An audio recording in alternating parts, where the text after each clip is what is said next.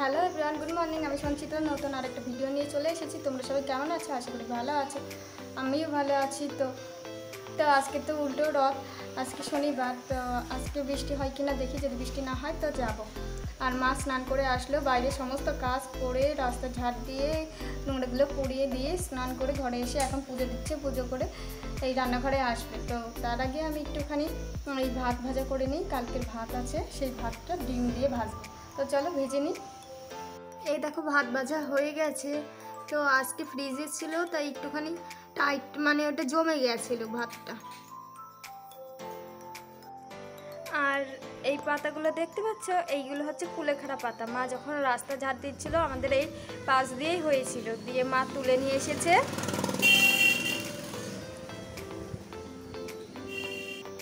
এই দেখো বন্ধুরা, তোমাদের সাথে আবার অনেকক্ষণ পর দেখা হচ্ছে। তো সকালবেলা তো খাওয়া হয়ে গেছে, তোমাদের সাথে শেয়ার করেছিলাম। এখন হচ্ছে আমি যাব নদীতে।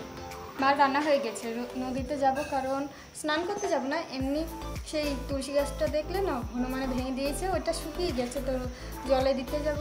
আর এই তুলসী গাছটা জানো তো, আমাদের বাড়ি একটা তুলসী গাছও ছিল না, এই ধরো তিন বছর আগে, সেই সময় ঠাকুরকে বলেছিলাম আগে ধরো আজকে রাত্রে বলেছিলাম ঠাকুর তুলসী গাছ যেন পায়। সেই সময় তুলসী গাছের সিজনেও ছিল না, তো সকালবেলা গেট খুলে দেখছি আমাদের গেটের সামনে তুলসী গাছ। তো ওই গাছটারই এই একটাই ছিল, তাছাড়া সবগুলোই চলে গিয়েছিল। তো এই একটা ছিল, এটাও হনুমানে ভেঙে দিল, শুকিয়ে গিয়েছে, এখন নদীর জলে দিতে যাচ্ছি। তো চলো যাই, আর তোমাদেরকে আজকে আমাদের এখানকার নদী দেখাবো, যদি ফোনটা নিয়ে যাবে, ঠিক আছে? তো এই দিকের রাস্তা দিয়ে নদীতে যেতে হয়, তো যাচ্ছি এখন, আর এই রাস্তা দিয়ে ওই মাঠ আছে মানে জমির মাঠ এই দিকে আর এই দেখো, এইটা নদী, এই সাইডের রাস্তা তারা দেখায়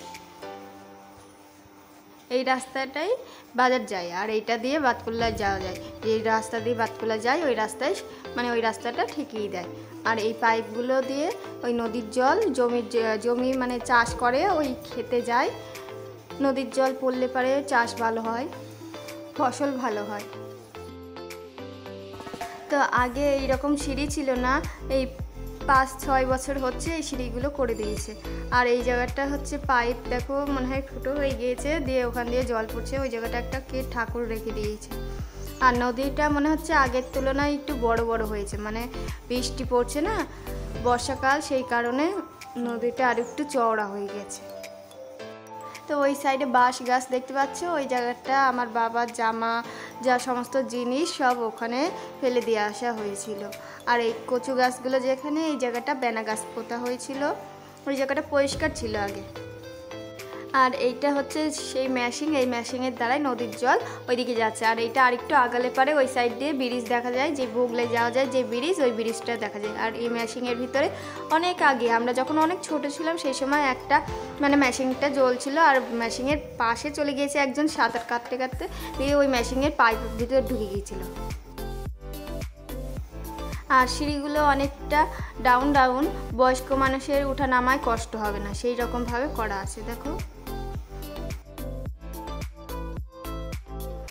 তো বন্ধুরা, আমি নদীর থেকে অনেকক্ষণ আগে এসেছি, দিয়ে বারান্দায় বসেছিলাম মায়ের সাথে।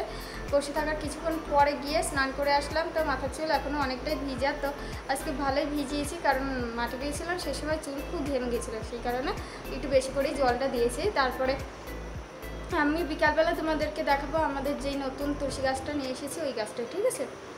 তো এখন চলো একটুখানি বসি, চুলটা একটু শুকো, তারপরে ঘুমাবো, ঠিক আছে?